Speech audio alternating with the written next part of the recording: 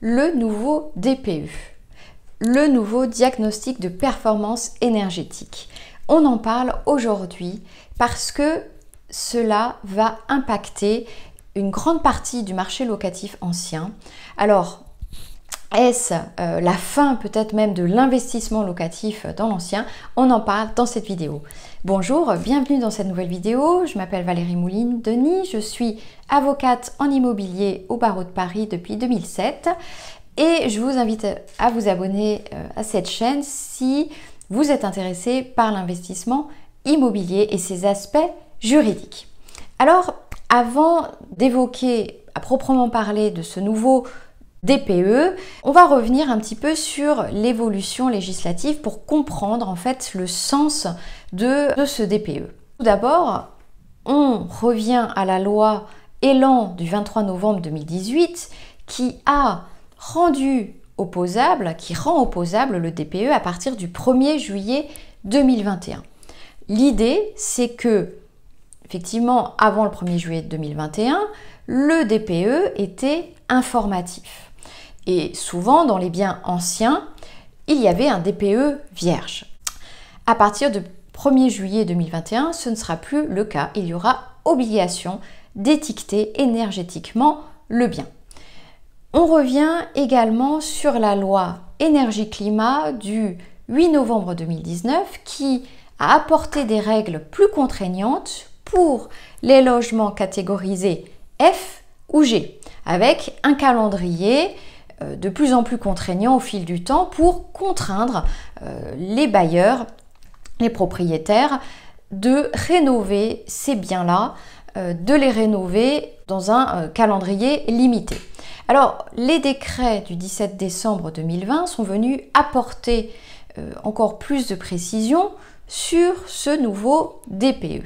Donc ce nouveau DPE, qui est donc opposable depuis le 1er juillet 2021. Qu'est-ce que ça signifie concrètement?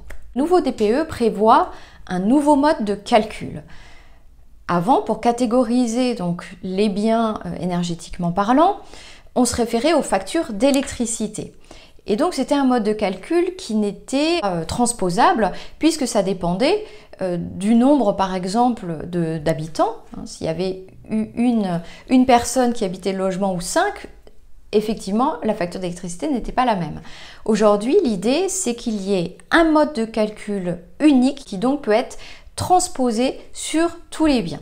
concrètement, la loi donc prévoit une catégorisation euh, des biens, donc allant de A pour les plus performants à euh, G, euh, pour les extrêmement moins, les extrêmement peu performants avec donc une catégorisation énergétique euh, chiffrée et je vous mets le tableau en descriptif de cette vidéo. Alors concrètement, le nouveau DPE est opposable depuis le 1er juillet 2021. Qu'est-ce que ça veut dire opposable? Alors, on l'a compris, on ne peut plus se passer de DPE, les DPE vierges c'est fini, il faut obligatoirement faire un diagnostic. Mais si on ne fait pas de diagnostic, si on ne fait pas de DPE, ou si le DPE est erroné, est-ce qu'il y a une sanction? Oui, parce que l'opposabilité, c'est ça, juridiquement parlant. C'est-à-dire que, par exemple, et c'est valable que ce soit pour la mise en vente d'un bien et également la mise en location d'un bien. Donc ça concerne tous les propriétaires et tous les propriétaires bailleurs de euh, logements, d'habitation ou mixtes. Donc concrètement, par exemple, dans le cadre d'une acquisition, si vous avez acheté un bien avec un mauvais DPE, eh bien vous pourrez vous retourner contre le vendeur pour le contraindre à exécuter les travaux d'innovation énergétique. Là, si le vendeur est euh, de bonne foi, il pourra même se retourner contre le diagnostiqueur si bah, le, rapport, le diagnostic a été mal euh, effectué. Et on se doute, dans ce cas-là, que les diagnostiqueurs, en tout cas dans un premier temps, ces temps-ci, vont sans doute être très prudents pour dresser leur DPE et ne pas être euh, favorables, en tout cas ne pas euh, mettre facilement de bonnes catégories, si je puis dire, au lieu de mauvaises, parce que ça engage leur responsabilité.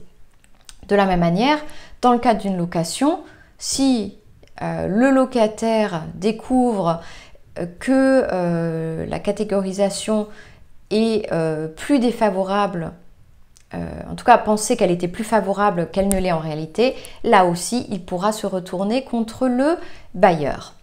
Alors, qu'en est-il des anciens diagnostics? Parce que les diagnostics étaient valables 10 ans. Et c'est ce que euh, le décret du 17 décembre 2020 rappelle. Donc qu'en est-il bah, de leur durée de validité? Par exemple, si un diagnostic a été fait l'année dernière, est-ce qu'il est valable 10 ans? Malgré euh, ces euh, nouvelles dispositions Eh bien non.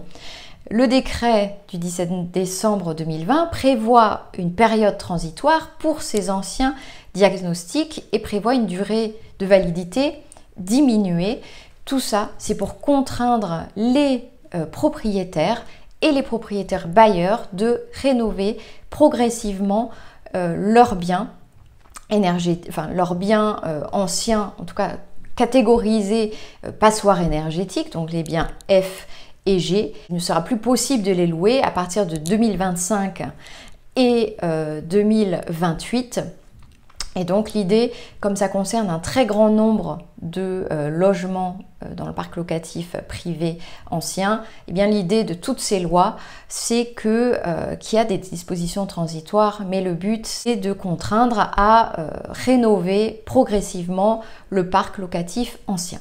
Alors, si cette vidéo vous a été utile, merci de la partager auprès de d'autres investisseurs, auprès de votre entourage, parce que ça va impacter énormément les, biens anciens, que ce soit pour la vente ou euh, la mise en location. Et moi, je vous retrouve dans une prochaine vidéo. Au revoir.